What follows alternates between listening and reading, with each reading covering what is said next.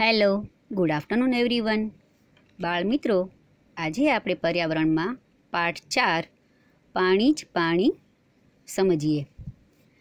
પાણીનું મહત્ત્વ જળ એ જ જીવન છે. પૃથ્વી પર વસતા મનુષ્ય, પશુઓ, પક્ષીઓ, જીવજંતુ દરેકને પાણીની જરૂર પડે છે. પાણી વગર તેઓનું જીવન શક્ય જ નથી. એટલા માટે આપણા માટે પાણીનું ખૂબ જ મહત્ત્વ છે. પાણીના પ્રાપ્તિ સ્થાનો. આપણને પાણી મળે છે ક્યાંથી?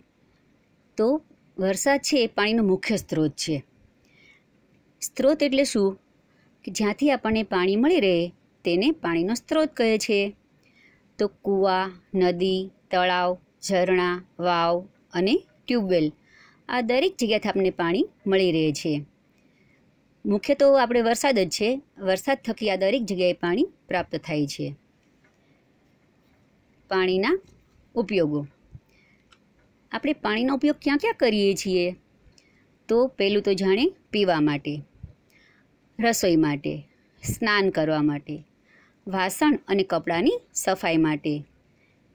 શાકભાજી, અનાજ, ફળ, ફળાદી વગેરે આપણે જે ઉપયોગમાં લઈએ છીએ તે બધું આપણને ક્યાંથી મળી રહે છે?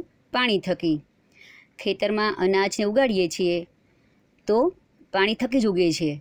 એ ખેતી માટે ઉદ્યોગો માટે, મકાન બાંધકામ માટે અને વીજળી મેળવવા માટે દરેક જગ્યાએ પાણીનો ઉપયોગ થાય છે. અને હા, બાળમિત્રો, આપણે ઘરમાં જે ટીવી, ફ્રીજ, પંખા, કોમ્પ્યુટર વગેરેનો ઉપયોગ કરીએ છીએ, તે ઇલેક્ટ્રિકસિટી પણ આપણને ક્યાંથી મળે છે? પાણી દ્વારા જ મળે છે. પાણી, આપણે કેવું પાણી પીવું જોઈએ? તો આજકાલ આપણે સમજીએ, જાણીએ છીએ કે આસપાસ પ્રદૂષણ વધી રહ્યું છે. તેથી પાણી પણ શુદ્ધ રહ્યું નથી. તો આપણે હંમેશા શુદ્ધ પાણી પીવું જોઈએ. તો શુદ્ધ પાણી આપણે ક્યાંથી મેળવી શકીએ? તો પાણીને ઉકાળીને. પાણી ઉકાળી તેને ઠંડુ કરી અને પછી કપડાં ગળીને ઉપયોગમાં લઈ શકાય. અત્યારે બધા શું કરે છે? પ્લાસ્ટિકના ગળણા વાપરે છે. તો પ્લાસ્ટિકના ગળણા કરતાં કોટનના કપડાંથી પાણી ગળીએ તો તે વધારે સારું રહેશે જ્યારે પણ ડોળું પાણી આવે છે, તો ત્યારે તેમાં ફટકડી ફેરવીએ તો પાણી ચોખ્ખું થઈ જાય છે અને પીવામાં ઉપયોગમાં લઈ શકીએ છીએ. અને હા, આજકાલ તો બધાના ઘરે લગભગ વોટર ફિલ્ટર હોય જ છે, તો વોટર ફિલ્ટરનું પાણી પણ ઉપયોગમાં લઈ શકાય છે. આપણે દૂષિત પાણી ન પીવું જોઈએ. દૂષિત પાણી પીવાથી ઘણા બધા રોગો થાય છે. તમને થશે કે કયા કયા રોગો થતા હશે વળી?